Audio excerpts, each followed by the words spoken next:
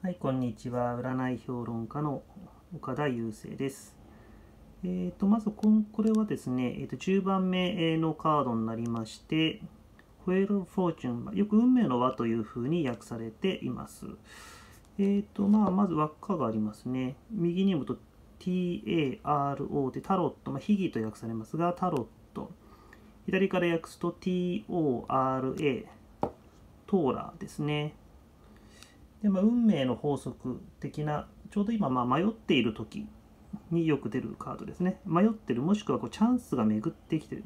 チャンスが巡ってきてると捉えた方がいいかもしれません。でこっちにスフィンクスをはじめとして、えーデュフォンとかアヌビスとかですね。エジプトのこう神々が描かれているのが特徴です。でですねここにスフィンクスが、えー剣を持ってます。これ決断をしなきゃいけないっていう時によく出るカードなんですね。でただ決断するにあたってこう、えーこれがお牛ですね。それから獅子和紙人間。皆さんこう本を読んでますね。ですからきっちりと自分で自分の目で確かめて情報を収集した上でこれでいこうと思って決断したことは非常に大丈夫だよ。